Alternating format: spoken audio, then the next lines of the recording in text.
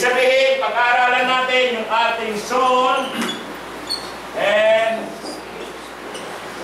spirit. Yung soul and spirit, magkaiba yan. Pero napakaraming pagkakatulad yan. At sa Biblia, pinakikilala na magkaiba yan dito sa Hebrews 4.12.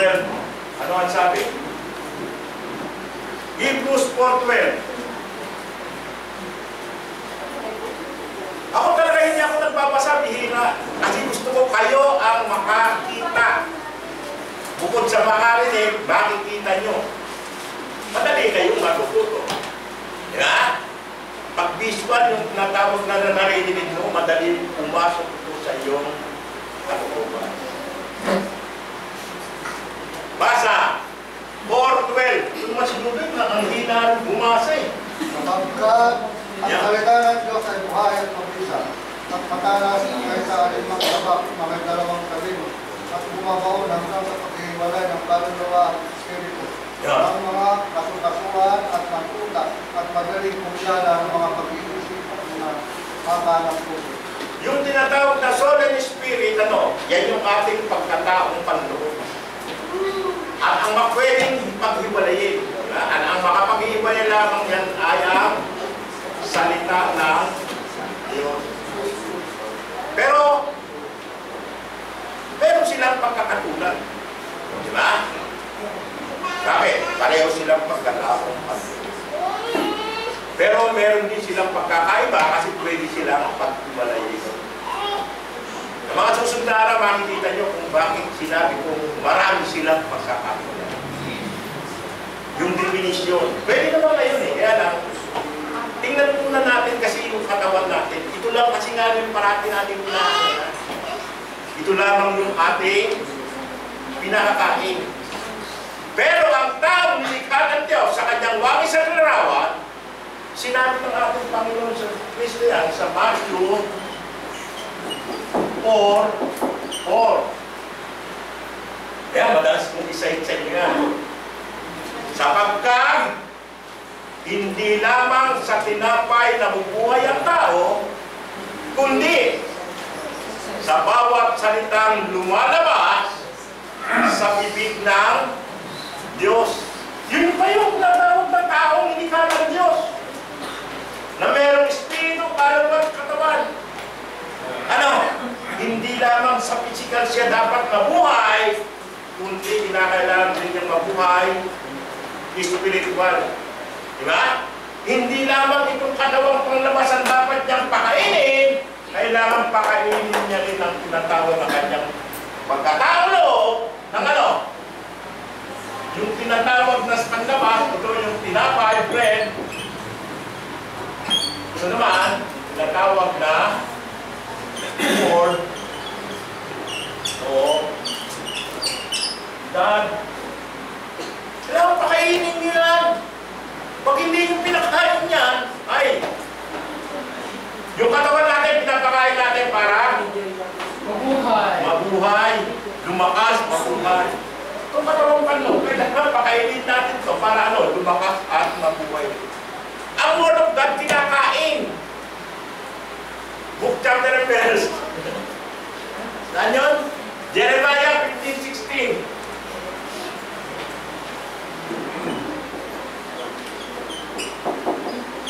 Tingnan ninyo, may magandang bagay kayong makikita dyan. Kapag kain yung salita ng Diyos, kinain nyo.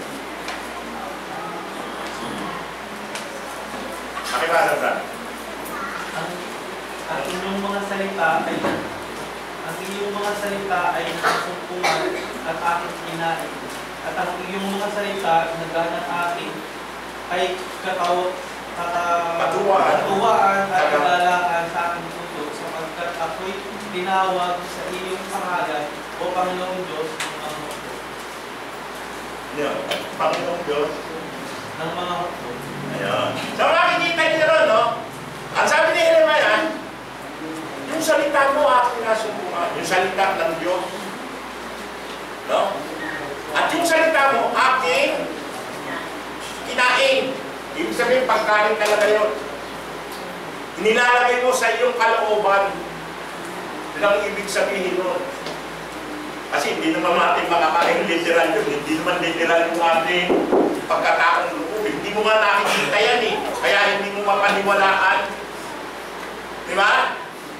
Ibig sabihin, pagkain niya, yung, yung word of God, kaya mo na kinakain, niya para ano, inilalagay mo sa iyong kalooban.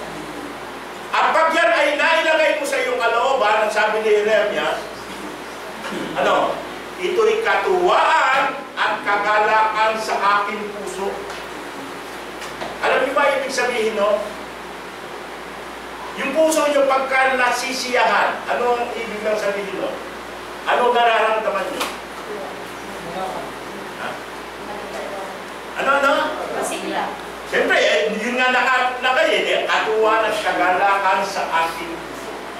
Pag ang tao ma- natutuwa at nagagalak ang kanyang puso, ano yung makikita mo sa tao? Ano lang yung sabihin? Nakakiti. Ha? Nakakiti. Nakangiti, masaya, walang problema. At yun ang katotohanan pag nagbasa kayo ng Biblia, na ilagay nyo sa inyong kalooban, yung problema nawawala. Dahil makikita mo ang katotohanan. Kaya tayo may problema, natin alam yung katotohanan. Eh.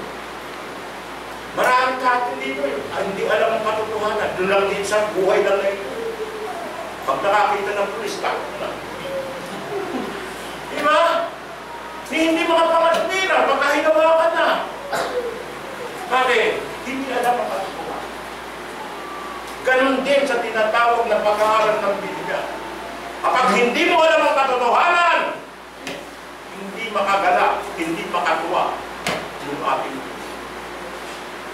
Pero kapag yan salita ng Diyos na yan ay nailagay mo sa iyong kalooban, sigurado, ano, magiging masaya ka. Kasi yan ang katuwaan at kagalakan ng iyong ang katotohanan. Ha? Kasi yung salita ng Diyos, yun ay katotohanan.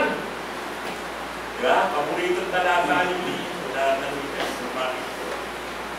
John 17:17, pakamanalin mo siya sa salita, sa iyong salita, ang salita mo, truth, katotohanan. Yeah?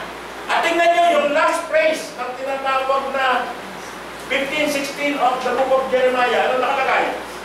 Bukod sa ito ay katuwaan at kagalakan sa kanyang puso, ano pa ito? Ito yung naging dahilan upang ano? Basa, basa, 15-16 kayo.